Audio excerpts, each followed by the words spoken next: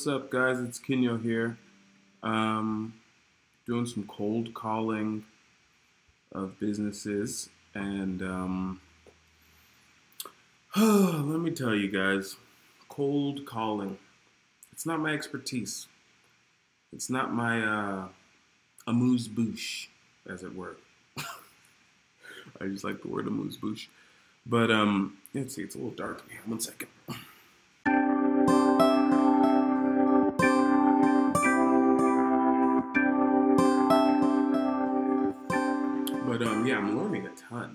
I, I literally, you know, if you look at my other videos, I've been doing this entrepreneur stuff for like five years. I've literally never done bulk cold calling, and um, I've suffered for it definitely in business because it's like, yeah, branding is great, and um, but it's more long term.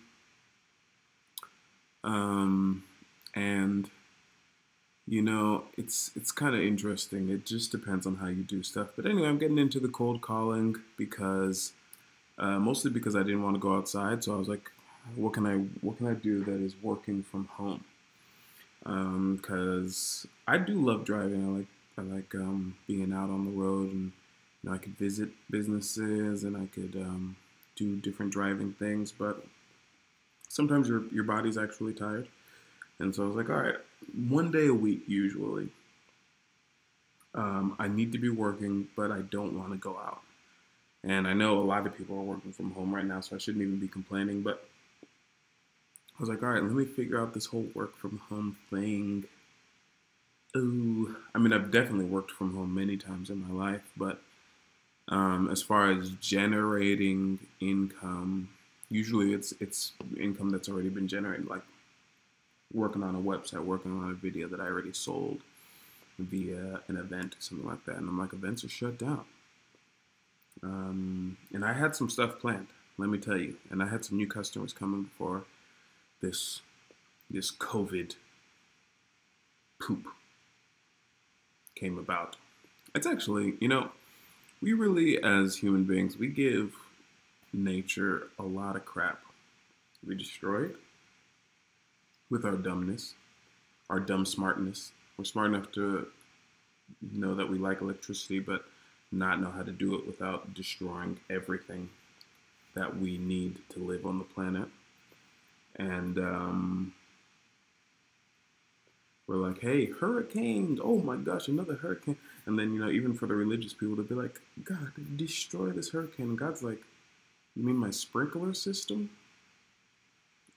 I came up with that so that I could find a way to get water in the land. It kind of it's part of the whole thing that I'm doing here. I could shut it down for you, but the long-term consequences for the planet would still end up in you dying. So, and then you know stuff like COVID. It's like, oh, what's going on? And it's like, well, I mean, you basically know nothing about how your body works, but you do know that you're made up of cells, which is what you call a dumb name. Um, anyway, this is really part of the technology that I use. One of the foundational building blocks. I know you guys might call it a, a pandemic, as it were. Um, and I do call it that too because, to be honest, I care about you guys. I just care about you guys. I really do. Um, but that's why I dropped you the info on masks. Are you guys doing the mask thing? I, I, I dropped some info on masks. Are you guys? Did anyone get that memo? Anyway, so cold calling. Um, also, I invented. Uh, you guys know that I'm working on a time machine. See, the thing is, actually, humans have been inventing time machines for basically as long as we've been around. Books, um, computers. So, what's the next version of that? What's the next iPhones? What's the next time machine? Well, well, well, I'm glad that you asked.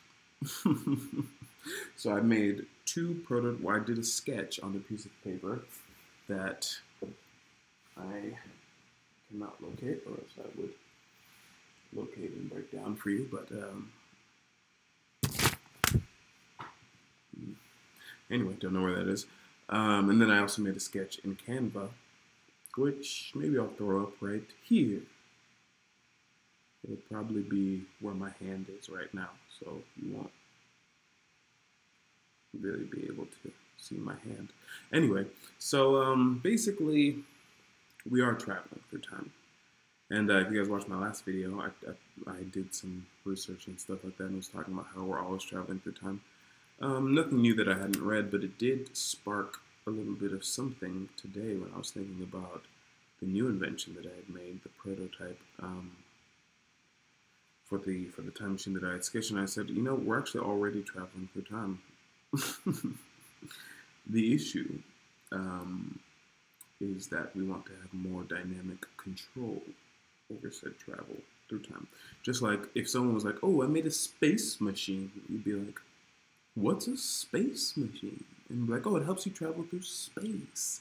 And you'd be like, "You mean walking to the bathroom?" And then you'd be like, "Yes, they're called shoes." Telemarketer, actually, I sort of recognize that number, but anyway. Uh, I, I can't hate on telemarketers anymore because I'm a telemarketer. Today I've been telemarketing, which is also an aspect of Time Machine, which I talked about in my last video. Some people aren't seeing the connection. Um, but anyway,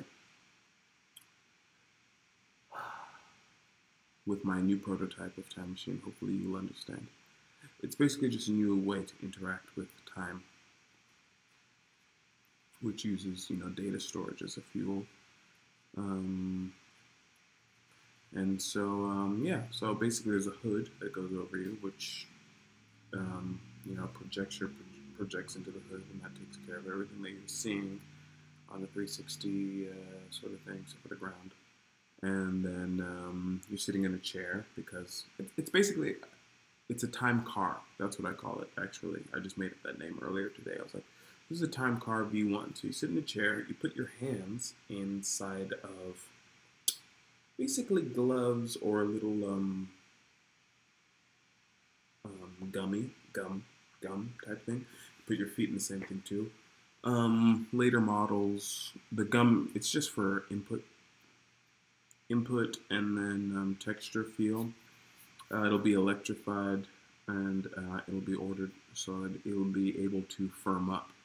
Um, why gum? Why putting it into a gel?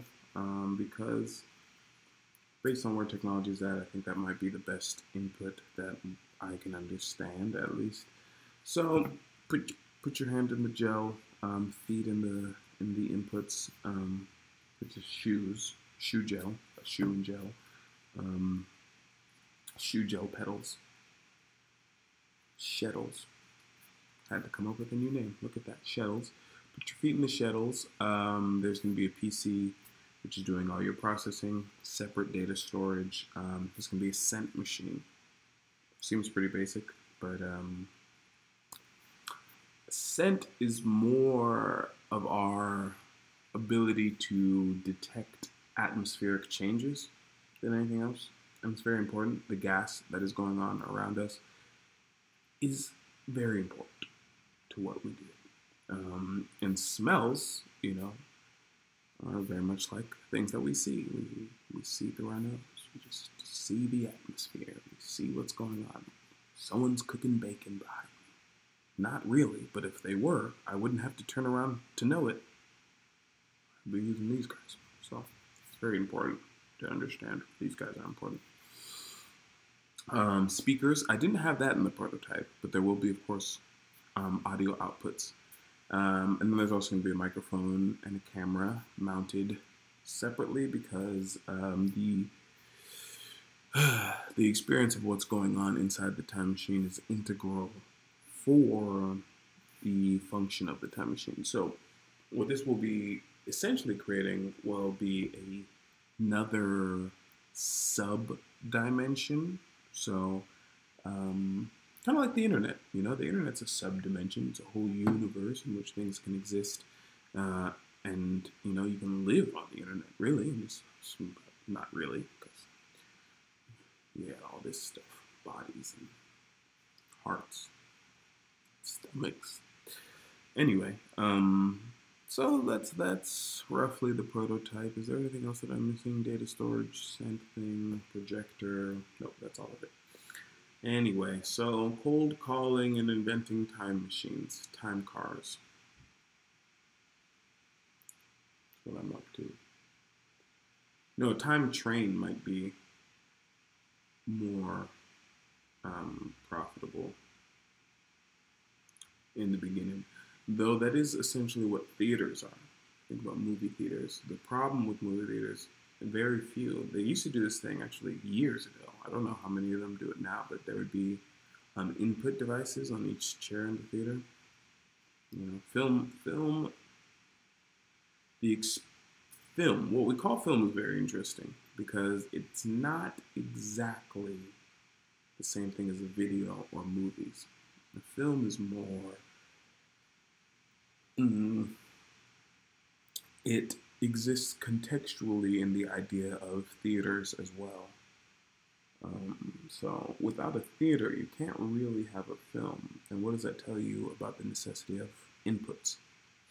And, you know, it's fascinating. Most of the inputs that we experience from films actually was augmented by the audience. So video is great, um, but the augmentation of it is necessary for it to transcend and become something else, which is why the the, the streaming thing has a couple hurdles. Not infinite hurdles. It's already existing very well because we have something called social media. People can talk about things. They can watch reaction videos at the wazoo. Um, I actually think reaction videos are going to develop into something far more profound than what we're seeing on YouTube.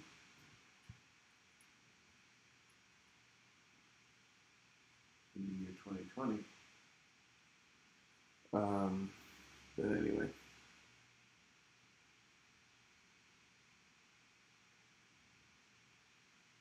Anyway, it is a pleasure to talk to you guys about the the steps that I'm going on in in my distressed.